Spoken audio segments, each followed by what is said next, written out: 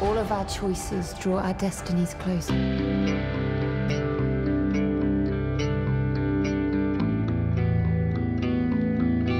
Talk 4 La mejor noticia de The Witcher. La serie de Netflix The Witcher, basada en el famoso videojuego del mismo nombre, sin duda alguna ha hecho que más de una persona se interese de la franquicia. Sin embargo, ahora la mejor noticia para aquellos jugadores que crecieron con el primer The Witcher ha llegado finalmente. Es poco probable que CD Projekt Red imaginase en 2007 que The Witcher, su primer videojuego inspirado en las obras de Andrzej Spadowski, fuese a tener el éxito que tuvo hoy y que además daría pie a una de las trilogías de videojuegos de rol más queridas de los últimos tiempos. Precisamente en esta misma semana se cumplió 15 años del aniversario del primer videojuego y para celebrarlo lo grande, el estudio polaco ha anunciado The Witcher Remake una reimaginación de la primera entrega que se reconstruirá desde cero usando el motor gráfico Unreal Engine 5, junto al resto de herramientas que CD Projekt Red está utilizando para crear la nueva entrega de The Witcher, el proyecto conocido hasta ahora como Canis Majoris, del que tuvimos la primera información a través de actualizaciones de proyectos de CDPR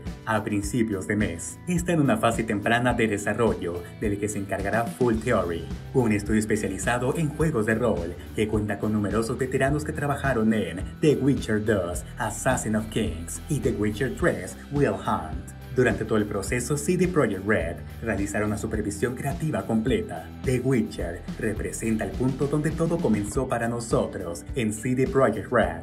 Fue el primer juego que hicimos y entonces supuso un hito para nosotros. El hecho de volver a aquel momento y rehacer el juego para que pueda experimentarlo la nueva generación de jugadores se siente igual de grande o incluso más, diría Adam Badowski, jefe del estudio de CD Projekt Red. Colaborar con Full Theory en el proyecto resulta igualmente emocionante, ya que algunos de sus miembros han estado involucrados previamente en juegos de The Witcher. Ellos conocen bien la fuente, saben que muchos jugadores llevan tiempo esperando este remake y tienen la experiencia para hacer juegos ambiciosos e increíbles. Aunque pase algo de tiempo para que estemos listos para compartir más detalles sobre el juego, sé que la espera valdrá la pena. Tal y como se ha comentado, The Witcher Remake era hasta ahora simplemente Project Scandis Majoris, uno de los tres juegos de The Witcher para los próximos años de la propia CD Projekt Red que nos presentó el 4 de octubre. Otro de estos juegos para futuro, y quizá el más interesante es el que conocemos ahora como The Witcher 4, que cabe destacar que no es su nombre oficial,